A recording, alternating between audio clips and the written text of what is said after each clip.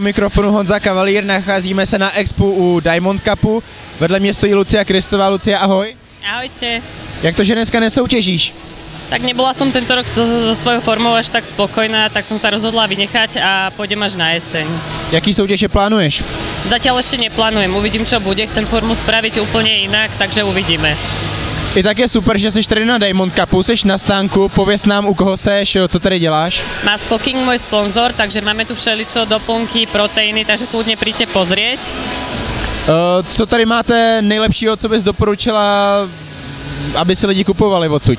Určite proťaky, Real Farm, Jaký máš nejradši? čokoládový.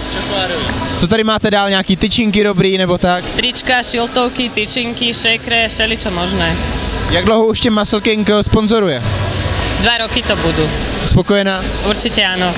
Um, byla se skouknout na soutěži nebo půjdeš? Bola som sa už pozrieť, ale len na chvíľočku, keďže mám povinnosti, ale ešte pôjdem určite. Zítra se půjdeš kouknout na bikiny, budeš tady? Áno, budem. Uh, ja, má, máš nějaký uh, názor na to, jak zítra soutěž dopadne v bikinách? Mám nejakú predstavu, ale nechám si ju pre seba. Dobře. Uh, jak, jsi na tom, jak, jak jsi na tom byla s přípravou letos? Proč nevyšla forma? No podľa mňa, uh, ja som mala po operácii, potom moc veľký objem a začala som podľa mňa neskoro. Nebola som celkovo a posledné týždne boli nulky, čo mne nevyhovuje, ale tak učíme sa na sebe, tak chcem to spraviť na jeseň úplne inak. Co budeš dělat jinak? Eh, Nějaký konkrétní věci? Zatiaľ to ešte prepracujem s trenérkou a uvidíme. Uh, kromě toho, že teda se chystáš na soutěže na podzim, kde tě můžeme ještě vidět? No momentálne v podstate o, ma môžete vidieť jedine tu a potom jedine vo fitku, kde pracujem, ale určite potom na jesenné súťaže, kde budem súťažiť, ale to zatiaľ ešte momentálne neviem. Takže děláš fitness trenérku. Áno, robím fitness. Pochlub se kde? V Trenčine Lyon Fitness, pozdravujem. Dobře. Máš ještě nějaký vzkaz pro svoje fanoušky? Áno, určite príďte sem pozrieť, je tu úplne super, teším sa na vás, pekný deň. Díky moc za rozhovor. Ďakujem za, rozho- za, pardon, za rozhovor, ahojte. Děkuju. Ahoj, u mikrofonu Honza Kavalír a vedle mě stojí profi figure závodnice Adela Ondrejovičová. Adelo, ahoj. Ahoj. Jak se máš? Už dobre. Uh, jsi tady na stánku Muscle Kingu, uh, jakou tady máš práci dneska? Tak uh, zatiaľ sa tu iba tak prechádzame, rozdávame nejaké podpisy a predávame proteíny. To je dobrý, to je dobrý. Takže odpočíváš, ale zároveň i pracuješ, to je super. Uh, ty si letos soutěžila, pochlup se, jak si dopadla. Tak tento rok som bola na Arnolde v Amerike, uh, skončila som desiata. Jaký to bylo soutěžit vlastně na druhý nejslavnější soutěži na světě po Olympii, na který si soutěžila loni? Mm, tak bolo to niečo neskutočné, vždy som o tom snívala. Neviem, tak dúfam, že si to ešte niekedy zopakujem.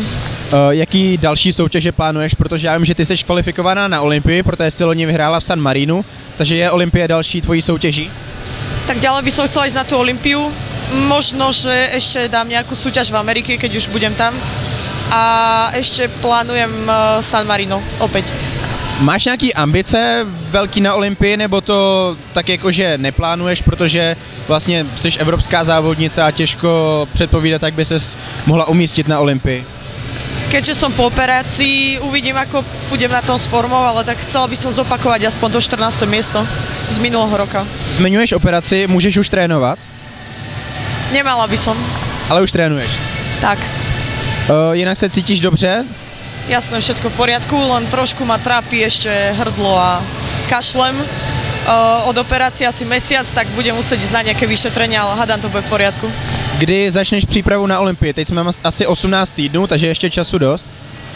No takže už pomaličky začínam tú prípravu, začínam uberať stravu, lebo nabrala som nejaké to kilečko, tak pomaličky, aby som to nemusela naháňať. Nějaký novinky v přípravě oproti tomu, co jsi zkoušela v minulosti? Mňa pripravuje Janko z Muscle Kingu, tak uh, nechám sa prekvapiť, čo vymyslí. Um, když jsi se při- připravovala loni na Olympii, tak uh, si vlastně tam šla jako vítězka bodypoweru, tedy jako vítězka San Marina, uh, si tedy dvojnásobná vítězka profi soutěže. Uh, vnímají tady to víc fanoušci, si, si pro ně známější? Tak uh, väčšina fanúšikov podľa mňa sleduje viac tie slovenské súťaže, ale tak nájdu sa aj takí, čo sledujú profi. Uh, je o tom menej písané, si myslím, tu na Slovensku. Ty kromě toho, že jsi závodnice, jsi taky fanoušek vlastně kulturistiky, figure a řekněme i body fitness v Evropě? O, tak priznám sa, tento rok som to sledovala menej, hlavne tú amatérskú scénu, ale tak snažím sa, keďže už mám aj rozhodcovský kurz, tak sledujem nové trendy a tak. Uh, mluvíš o trendech, uh, liší se nějak vlastně amatérská body fitness oproti figure tím, jak mají ty závodnice vypadat?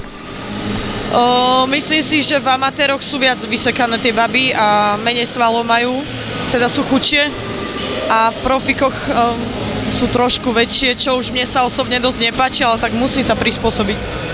Takže vlastně teď se zaměříš na objem, jestli to ještě půjde, a pak eh, vlastně dietu nemusíš tolik přepolovat, uh, půjdeš vlastně tam, jak, jak ti to dovolí tělo a nebudeš se pak muset přepínat, je to tak?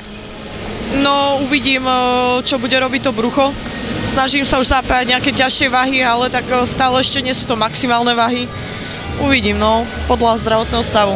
Tak jo, tak já ti přeju hodně štěstí na Olympii, potom na soutěžích po ní, ať se ti daří, ať se povede forma. Díky za rozhovor. Ďakujem moc. Díky.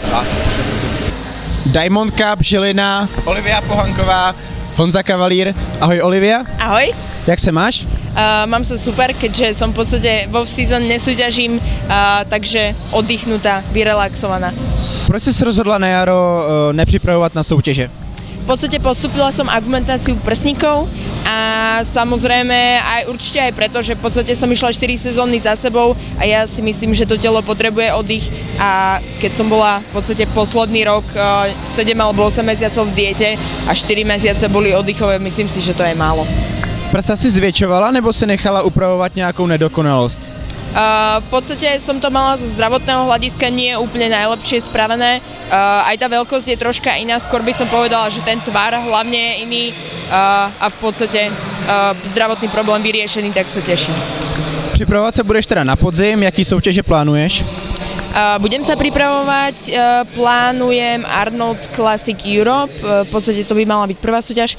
Je to pre mňa taká srdcovka, mám ra- súťaž naozaj rada a myslím si, že tam aj na tom pódiu vždy vyzerám dobre, aj keď teraz viem, že sa to presúva, lokácia v podstate z, do Barcelony, ale verím, že prinesú ten istý stage, takže tak. Co ti čeká potom, Arnoldu? Aha, e, po Arnoldovi pravdepodobne asi Fínsko, e, tam bude Diamond Cup e, a chcela by som sa nominovať na majstrovstvá sveta. Proč bys si chtěla na to mistrovství světa? Já vím, že máš takový jeden velký životní sportovní cíl. V podstate ja som to už niekoľkokrát spomenula, pre mňa je strašne uh, taký tajný sen, a aby mi zahrali slovenskú hymnu. Je to možno také klíše, ale myslím si, že je to také, človek sa c- cíti naozaj zadosť učinený v tom momente a je to v podstate, ten moment je fakt len pre neho a pre celú ten, tú športovú aktivitu, ktorú on roky vydáva. Takže Jak si užíváš mimo soutěžní období? Zkoušíš třeba nové věci v tréninku nebo i v jídelníčku? Uh, užívam si to vynikajúco. v podstate papám rozmanito, cvičím rozmanito, stále sa snažím orientovať na tie nohy a ten zadok, lebo ja si myslím, že uh, ten nebude nikdy dosť a nikdy dosť dokonalý. A guláš, Říká holka s jedněma z nejlepších nohou a zadkem na Slovensku. Ale práve preto, že to tak vnímam, tak práve preto si myslím, že na tom aj pracujem toľko, takže všetko navezuje. A skúšam, stále skúšam. Ja som typek uh, nikdy nespokojný, takže stále niečo príde nové a stále ja to potrebujem nejako skúšať na sebe. Takže v podstate teraz uh, možno si o tom už aj počul IFIM spôsob stravovania.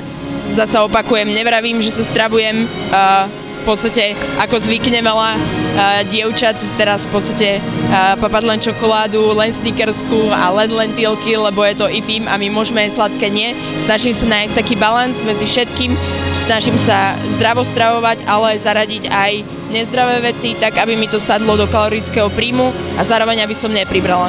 Že v podstate teraz som týždeň uh, na takej kvázi diete, IFIM diete a schudla som kilo, možno kilo a pol a práve asi hodinu dozadu som mala Magnum biely, bol vynikajúci, takže to funguje. Takže s IFIM jsi spokojená, zkoušíš to zatím jenom na sobě nebo třeba i na klientkách? Skúšam to viac menej na sebe, ale zase musím povedať, že teda ja viac menej som sa stravovala tak vždy, jediný rozdiel, čo bolo teraz a vtedy, bolo, že vtedy som si to nepočítala, teraz si to počítam. Uh, takže vtedy som to niekedy zvykla prešvihnúť a potom som na Vianoce aj pribrala 5 kileček.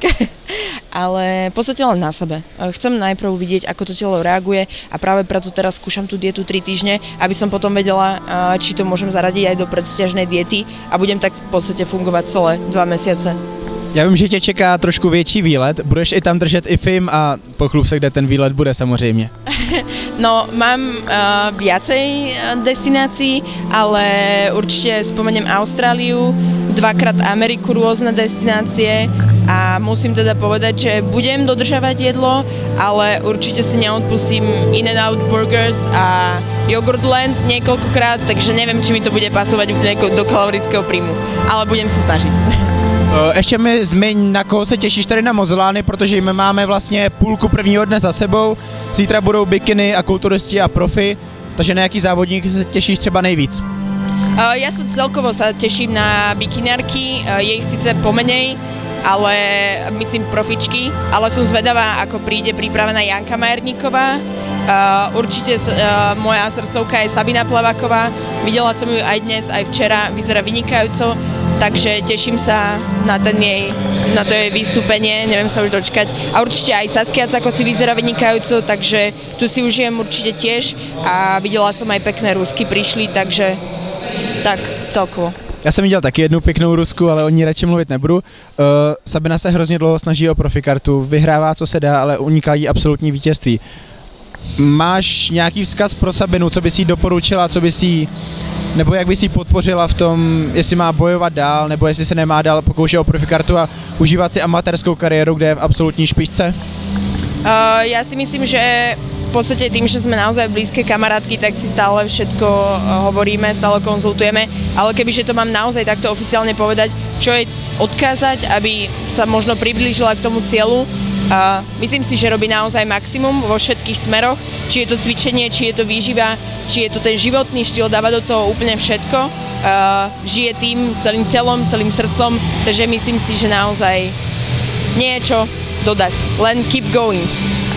Um, to bude asi všechno. Máš nějaký vzkaz pro svoje faninky, pro naše diváky? Určite odkážu, odkazujem hlavne dievčatám, aby sledovali môj fanpage. Uh, v podstate budem sa snažiť následujúce mesiace uh, priniesť vám viac informácií o tom IFIMku, priniesť vám viac informácií o stravovaní, uh, ako ho vidím ja, ako to robím ja, možno vás troška viacej naučiť, čo sa stravy týka a dúfam, že sa vám to bude páčiť. Díky za rozhovor. Toto je inak, ja mám vždy problém s touto šnúrou.